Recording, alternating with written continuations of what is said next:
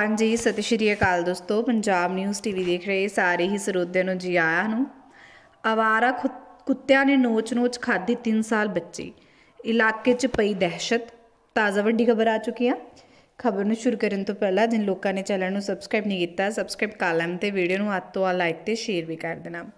ਪ੍ਰਾਪਤ ਜਾਣਕਾਰੀ ਅਨੁਸਾਰ ਇਹ ਮਾਮਲਾ ਹਿਮਾਚਲ ਤੋਂ ਸਾਹਮਣੇ ਜਿੱਥੇ ਇੱਕ 3 ਸਾਲ ਦੀ ਬੱਚੀ ਨੂੰ ਹਮੀਰਪੁਰ ਦੇ ਵਿੱਚ ਆਵਾਰਾ ਕੁੱਤਿਆਂ ਵੱਲੋਂ ਨੋਚ-ਨੋਚ ਕੇ ਖਾ ਲਿਆ ਗਿਆ ਹੈ ਤੇ ਮਾਸੂਮ ਬੱਚੀ ਦੀ ਮੌਤ ਹੋ ਗਈ ਹੈ।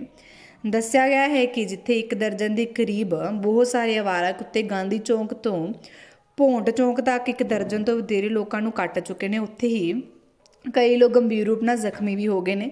ਉੱਥੇ ਇਹਨਾਂ ਆਵਾਰਾ ਕੁੱਤਿਆਂ ਦੀ ਦਹਿਸ਼ਤ ਦੇ ਕਾਰਨ ਮੇਨ ਬਾਜ਼ਾਰ ਦੇ ਵਿੱਚ ਦਹਿਸ਼ਤ ਦਾ ਮਾਹੌਲ ਹੈ ਤੇ ਹੰਬੀਰਪੁਰ ਦੇ ਵਾਰਡ ਨੰਬਰ 8 ਦੇ ਵਿੱਚ ਵੀ ਆਵਾਰਾ ਕੁੱਤਿਆਂ ਵੱਲੋਂ 3 ਸਾਲਾਂ ਦੀ ਮਾਸੂਮ ਬੱਚੀ ਨੂੰ ਨੋਚ-ਨੋਚ ਕੇ ਜ਼ਖਮੀ ਕਰ ਦਿੱਤਾ ਹੈ, ਜਿੱਥੇ ਬੱਚੀ ਨੂੰ ਗੰਭੀਰ ਹਾਲਤ ਦੇ ਵਿੱਚ ਹਸਪਤਾਲ ਦਾਖਲ ਕਰਾਇਆ ਗਿਆ। ਉੱਥੇ ਹੀ ਉਸ ਦੀ ਇਲਾਜ ਦੇ ਦੌਰਾਨ ਮੌਤ ਹੋ ਗਈ ਹੈ। ਬੱਚੀ ਦੇ ਪਰਿਵਾਰ ਜਿੱਥੇ ਪੰਜਾਬ ਦੇ ਹੁਸ਼ਿਆਰਪੁਰ ਦੇ ਰਹਿਣ ਵਾਲਾ ਹੈ ਤੇ ਹਿਮਾਚਲ ਵਿੱਚ ਸਫ਼ਾਈ ਦਾ ਕੰਮ ਕਰਦਾ ਹੈ ਅਤੇ ਇਸ ਸਮੇਂ ਝੁਗੀਆਂ ਦੇ ਵਿੱਚ ਰਹਿ ਰਿਹਾ ਹੈ। ਉੱਥੇ ਇਸ ਘਟਨਾ ਕਾਰਨ ਲੋਕਾਂ 'ਚ ਡਰ ਦਾ ਮਾਹੌਲ ਪੈਦਾ ਹੋ ਗਿਆ ਹੈ। ਬਾਕੀ ਖਬਰ ਨੂੰ ਅੰਤ ਤੱਕ ਦੇਖਣ ਲਈ ਤੁਹਾਡਾ ਬਹੁਤ ਬਹੁਤ ਧੰਨਵਾਦ ਹੈ।